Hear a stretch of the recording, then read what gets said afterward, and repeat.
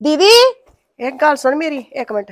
ਤੈਨੂੰ ਮੈਂ ਦੱਸਾਂ ਮੈਂ ਵੇੜਾ ਧੋਤਾ ਤੇ ਤੂੰ ਅੰਦਰ ਦੌੜੀ ਦੌੜੀ ਆਈ ਜਾਨੀ ਪੈਰ ਗੰਦੇ ਮੰਦੇ ਲੈ ਕੇ ਤੈਨੂੰ ਨਹੀਂ ਪਤਾ ਲੱਗਦਾ ਮੈਂ ਵੇੜਾ ਧੋਤਾ ਆ। ਦੀਦੀ ਆ ਕੀ ਗੱਲ ਹੋਈ? ਬੰਦਾ ਕਿਸੇ ਕੰਮ ਆ ਹੀ ਸਕਦਾ ਵਾ ਅੱਛਾ ਤੁਸੀਂ ਵੇੜਾ ਧੋਤਾ ਤੇ ਆਵਾਂ ਹੀ ਨਾ ਤੁਹਾਡੇ ਘਰ? ਤੇਰਾ ਮਤਲਬ ਆਵਾਜ਼ ਮਾਰ ਕੇ ਆਉਣਾ ਠੀਕ ਆ? ਤੈਨੂੰ ਨਹੀਂ ਲੱਭਦਾ ਮੈਂ ਹੁਣੇ ਵੇੜਾ ਧੋਤਾ ਆ।